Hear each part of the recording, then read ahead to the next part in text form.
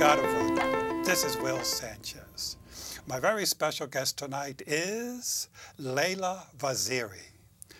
I met Leila actually through Vimeo. Vimeo is a video sharing site similar to YouTube. I saw her public service announcement about swimming and saw that she was part of Swim Bike Run SBR right here in New York City.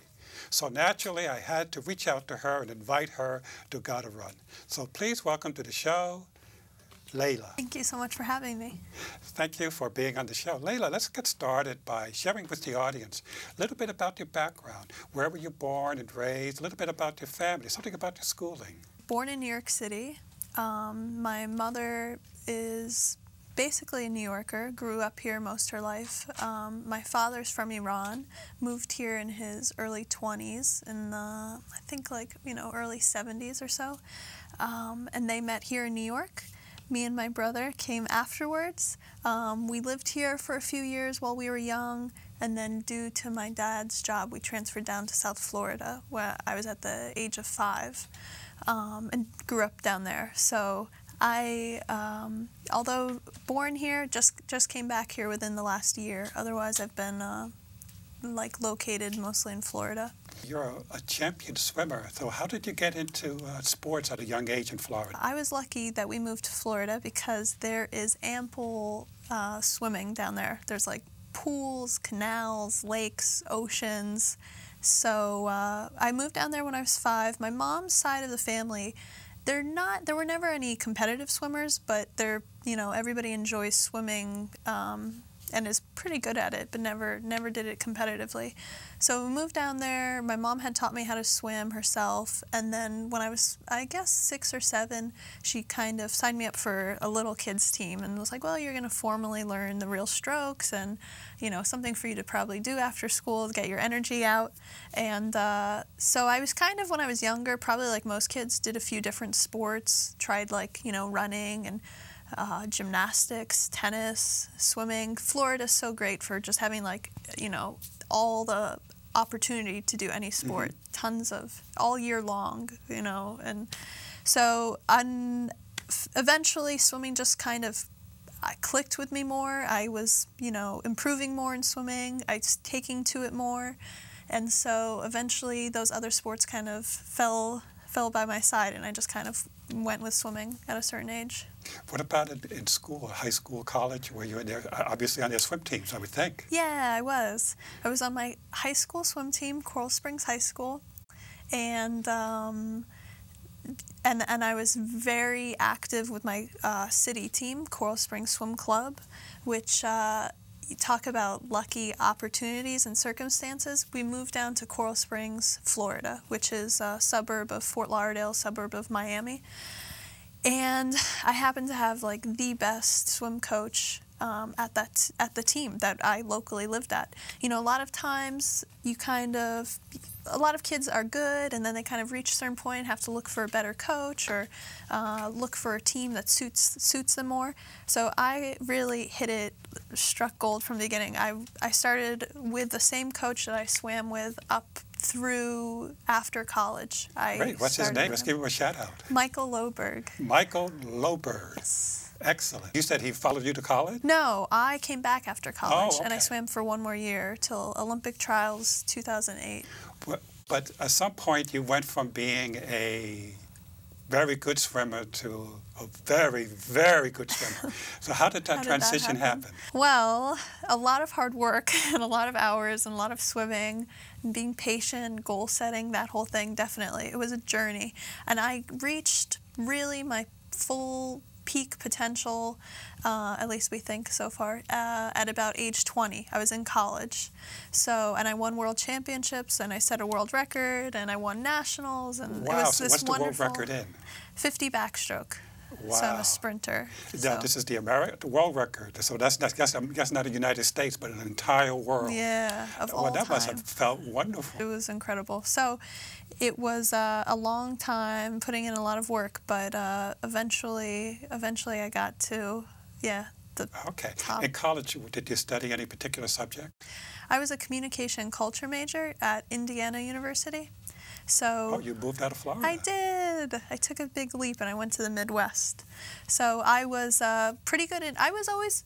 I was always good. Um, you As a know, swimmer. As a swimmer, I was always good, and uh, I was always like you know, won local meets and was ranked in the country. But as far as like world champion, no, that was that was definitely a surprise even to myself. Was it some kind of international meet? Where, did, where was it held when you did the world record? It was World Championships, and it was held in uh, Melbourne, Australia. Oh, it got to, another traveling. Oh yeah, definitely. Did your family go with you? Yes, my whole family went, and they had a great time seeing all of Australia. While I got to, Uh, But you weren't the favorite for the 50-yard backstroke. Is that what you're saying? I had never swam it until that meet.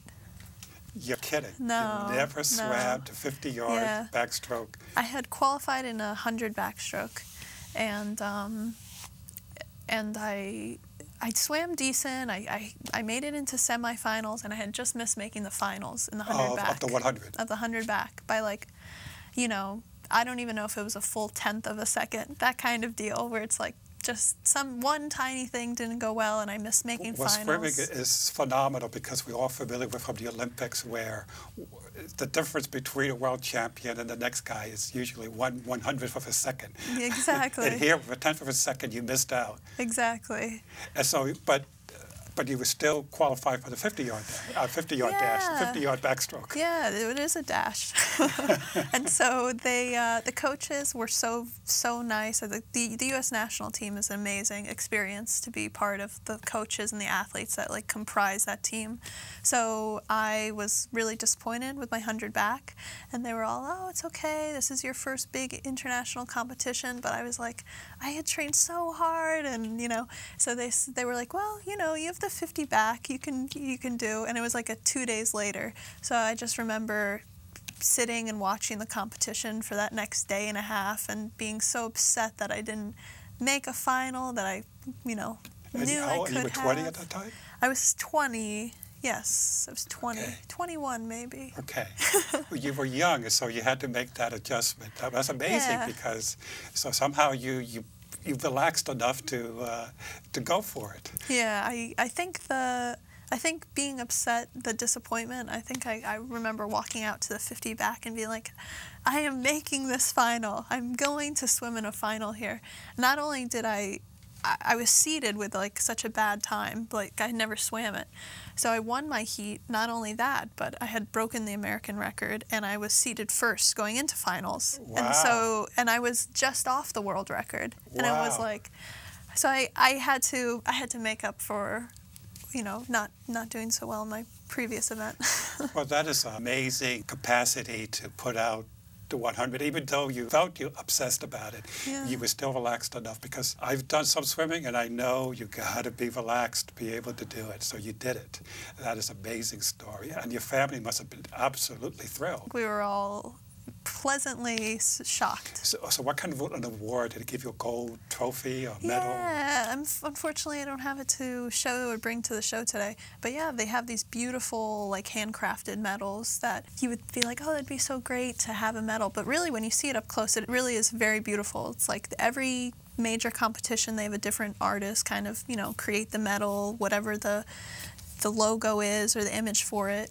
And uh, it was beautiful, yeah. So I have that forever now. Oh, cool. And you have it here in New York? I, it's home in Florida, actually. A special I would have brought it. Yeah, it comes in this beautiful wooden box. And after that, uh, did you win any additional awards? Did you go to the Olympics? What was uh, No, I story there. missed. I missed qualifying for the Olympics, but uh, so World Championships was the year before the Olympics. So I did really wonderful, and so many great things happened after that. Being able to be on the national team and travel and go to international competitions for that next year, and um, train back home with my club team, be sponsored. That whole the the ride of it was amazing.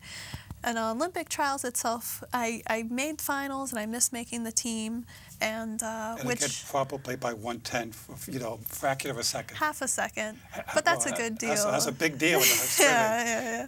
So, and uh, it was, yeah, it was obviously, you know, disappointing, but the whole process, the whole journey was amazing. And if, you know, if anybody has ever been to the U.S. Nationals, um, Olympic trials for any sport, it is more pressure than the Olympics. U.S. has like the most dominant competition within our country to make teams. So just to be in the running was amazing, and Absolutely. and uh, Absolutely. and And, you have the world record. I- It's probably been broken since those records seem to break every every six Month. months or something like that yeah, yeah. Yeah. No, so no, no, I do not have the record anymore. But anymore. Well, let's talk about that. What's your take? I- I'm a novice at swimming, but I, of course, I, as a layman, I read the stories, and the swimsuits are getting faster. The water, even the water gets faster, eh, because uh, the, I guess if it's deep enough or something like that. So, have swimsuits been getting faster, in your opinion? this huge suit craze the year after the Olympics. I just missed it, um, but they had developed this new, new thicker material, and it covered more of the body. And um, you know, there were new companies coming out making it. Blue 70, which maybe a lot of triathletes are familiar with that brand. Okay, Blue Speedo, 70. Blue 70. Um, Speedo tier. They started making these like thicker material suits, and they s- covered like the legs, you know, full legs. Some of them covered the arms. So I missed. I wasn't in it directly, but I hear that uh, yeah, it ended up being a, a big advantage to a lot of swimmers, which I is guess to the interesting. women, because the men, if I recall, they just wear the short speedos. yeah. Well, it even covering like the men's the chest. I oh, think. Oh, they wear some kind of shirt, I guess. Yeah, well, it would be like a you know tight, tight, just covering your chest. So Oh, okay. the thing is that material cr- creates more buoyancy in your body, and so um, now they've. Uh, it's funny how sometimes organizations work. So they the suit was out for a year, and all these world records were just falling, breaking by a lot, a lot, Right, a lot. right. But did And they so ultimately outlaw the suit? then they outlawed it, right? But all those records still stand. oh, oh, my goodness. So, so that suit's not allowed anymore, but uh, the times from those suits are still there. Huh. Even though some of them are getting broken, people are getting closer to them. I'm sure people will eventually get to them and break them actually too without the suit. So, Okay, well, let's go back to college. So you were studying communications and what else were you doing? communication and culture. Culture. So you That's got your wonderful. bachelor's, did you go, and then what happened after school? So, uh, let me see. That was kind of a whirlwind. The World Championships and graduating happened that same month. Oh, I was like goodness. graduating college, and I went to World Championships. It was it was a whirlwind of a of a month That was like two. a June or May timetable? Yeah, it was. It was. Uh, what was it? March and April. Oh, okay. It was you March graduate April. early, and uh, it's Florida. the New York area is usually late May, early June. Yeah. Graduation ceremonies. In Indiana, I think like my last class was in April, and by May I was already packing up and coming home. And Okay, to yeah, Florida. To Florida. Okay, so how do you make your career decision at that point? Now, now you need a, a job. So that was so interesting. I had been swimming for 15 years. Since I was seven or eight years old, I had been like competitively swimming. So I knew that I needed to take a break. I just knew it. I would just, it was, you know, it was an amazing ride up to that point, and I just knew I needed to kind of like step away from competing and being in training every day. So I decided I'm going to be done, but I had no idea really what I was going to do or what I was kind of stepping into after that. So, uh, interestingly enough, I just had to kind of totally step away. I worked at a solar energy company in South Florida. I worked in uh, fundraising for the city of Fort Lauderdale. I worked at a museum doing fundraising. So, for about two years, I was out of the scene, out of the swimming world. I just kind of needed to, you know, Find yourself. find myself, so lose myself, swam for find myself. pleasure at that point. I wasn't even swimming for pleasure. I wasn't even swimming. Was Oh, the funny thing. So you, your athletic uh, endeavors went to, to zero? Not even tennis or For a tiny bit of time, it did, which is so funny. And I had zero, you know, I totally walked like blindly away from it. Like, I don't even know what's going to happen. I don't know how it's going to feel to swim. I don't know what's going to happen to my body or my energy. Or, and that was interesting. It's you're you're in for a treat if you're about to end your sport. You it, you definitely go through a period of uh, fluctuation in your in your energy and your uh, appetite and your hormone level and your everything. So it takes a little bit for you to kind of find a new equilibrium. I think. Did you have any kind of a support group, you know, former uh, champions, group uh, on Facebook or something could talk about well what happens uh, after after I being a champion. I should have found one. Actually, somebody should set one up. I should help set one up. I mean, they're definitely it, it would be helpful. I was lucky that some of the girls on the college team before me were done a year or two before me, and I remember calling them after a few months of being done and being like, "What is going on? I feel so weird." And uh, then being like, "Yep, that's you kind of go through this adjustment phase." So um, it, well, obviously, yeah. you overcame it, and you came to New York at some point. I point. did. Yeah. So what happened? So I was home in Florida, away from s- swimming for about two years, and then um, decided that I wanted to come to New York City. And my brother was living here. My I have aunts and uncles who live here. I have lots of family in New York, so it wasn't just a total. born here, And I was born here. Yeah, Yes. exactly. Come back to it. So I moved up here. About a year ago, you said. About a year ago, yeah. And I, for the first two or three months, I was staying with my family, and I was uh, coaching, but just part time, just because it was just good to be in the community of people that I knew and figuring out what kind of job I wanted. And then I, so luckily, coincidentally, this great um, head coach position at SBR Swim Bike Run opened up. And uh, surprisingly enough, the coach that was leaving and I sort of knew each other. Stefan Bill. Stefan Bill, exactly. So he he relocated to London, and I went in for an interview and got the job. And I had been here for two three months, and I was so lucky that my timing was good. Excellent, Yeah. excellent opportunity. SBR is very well known in the New York area. They do, besides swimming, bike and run, their name designates. Tell us about your program there, because that's how I stumbled across you on Vimeo, because you had this terrific video. Was very well done, quality, was very vivid. You can actually almost see the, the water on your arm. We were obviously outside the pool. So tell us about your program. How does it work? the majority of people I work with are triathletes. However, it being New York City and just having tons of other potential clientele, I also work with people who are water phobic. I also coach sometimes kids. I've coached a few pregnant women. We have at SBR an endless pool, which was the first time I came in contact with one. In Florida, I don't know if I've if there exists an endless pool. Well, this is New York. Space is at a premium. So some clever fellow Exactly. invented the endless pool. So describe that to our audience. So the endless pool is like a current regulated, resistance regulated pool. So you will swim in place. The pool, it's about eight feet wide, maybe 15 feet long, and it has a motor in it. So it creates this like tunnel of water that kind of comes at you that you can regulate the speed of. And um, it is a really interesting pool to coach in. And I actually think it has a lot of benefits to it, actually. Get to What some of the benefits have you seen? creates a lot of you know water resistance you have to swim into a current rather than with a current right so you're swimming into this current so with a lot of the swimmers that i coach i can say you know we're working on efficiency this, that swimming is so so focused on technique and efficiency and so when we turn this thing on and the resistance is blasting at them I- I can easily say, well, look, look at all the drag you're creating. Look at this, you know, look at the part of your body that's out of Are you- alignment sometimes you videotape from below. that's possible as well, which I think is really good feedback to kind of see what you're doing yourself in the water. I must So- admit, I, I've been to the endless pool once at New Pulse, and I loved it. but I also loved the fact that the instructor at, at New Pulse uh, got into the pool with you, with me. Do you get into the pool with? I guess it depends on the client, I would imagine.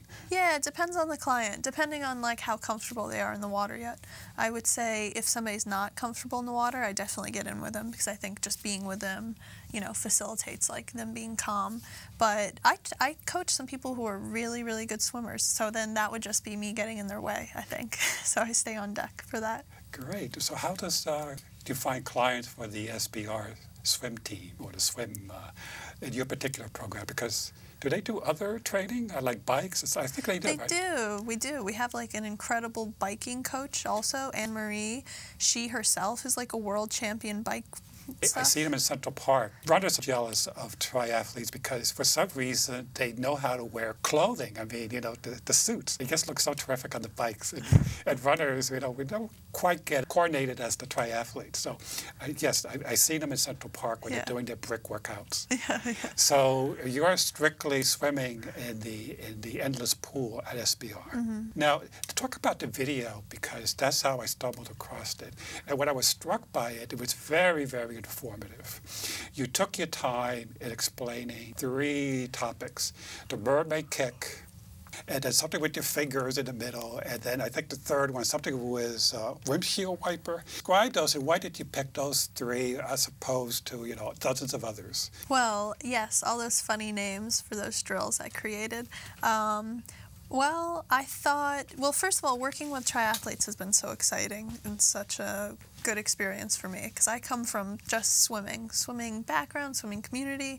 So getting to know triathletes, getting to know runners and bikers has been um, learning experience for me. Just about how you know other movements, uh, people are used to doing certain things with their legs and their hips and certain kind of coordination that comes from a running background, comes from a biking background. So uh, that's been really interesting for me. So I created these funny drills: mermaid legs, fingertip drag, windshield wiper, a few other funny names that. Uh, Well, tell us what, what's the mermaid drill? one thing I noticed that a lot of bikers do and a lot of runners that they are used to having these like wide strides in their legs, right? Having like big wide movements from your hip, like legs being really wide. So the thing that they have to get used to when it comes to swimming is that legs stay together more. It's more of a your thighs stay together and you kick like with your feet more. Um, I suppose keep the knees locked or semi-locked. no, not even the knees locked. The knees can be relaxed, but just your thighs stay together. So when you're kicking, your legs are more, um, you know, they're more kind of aligned behind you. It's not like big, wide. so are you pushing movements. using your hips in that case Yeah, the kick comes from your hips? from your hips and then like kind of through your ankles, through your feet. I, I must admit, I'm, I've been a poor student of swimming. I've, I've struggled. Very difficult for me to kick from my hips for some reason. And, and the coach used to say, you know, I'm kicking too much with using my knees. Oh, yeah. And, and apparently, runners have that problem of uh, overcoming not using their knees. Yes. But the mermaid drills, in your experience, helps in overcoming some of those issues. I made up that name because I think it's good to have some kind of visual to that goes along with the feeling. So I say like a mermaid's tail, you know, she kicks like just her legs are together and you kick out more from your ankles and your feet. So I'm trying to, you know, teach people who have more of a tendency to have bigger strides to think more that it comes more from your feet and your ankles than it will come from your thighs. So Is that the, the number one thing to, that runners should learn to do, the, the mermaid drill? You know, is that it? Or does it depend again on the individual, what, the, what their weaknesses are? I think that the drills I've come up with are ones that are like specific to people who kind of are triathletes at this point. Um, yeah, they have certain tendencies that that just you're used to doing that. I'm sure if I started running or biking, it'd be like, what exactly? You must be a swimmer.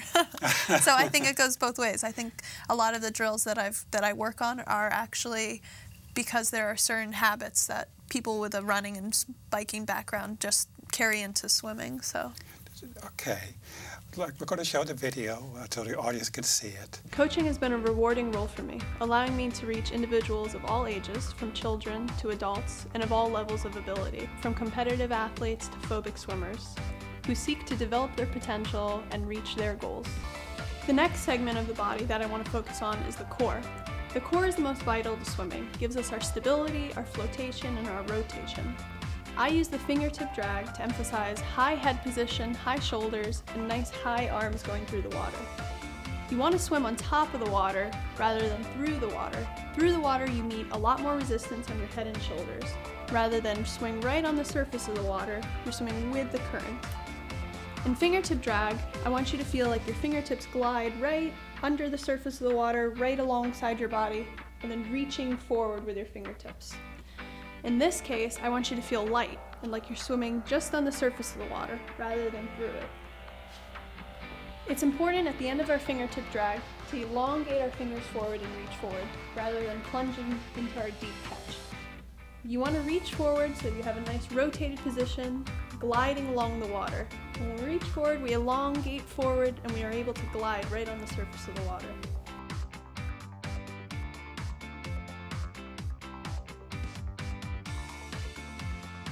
So let's talk about some of your future challenges because we only got a few minutes. Sure. So what do you see for yourself uh, ongoing in New York City?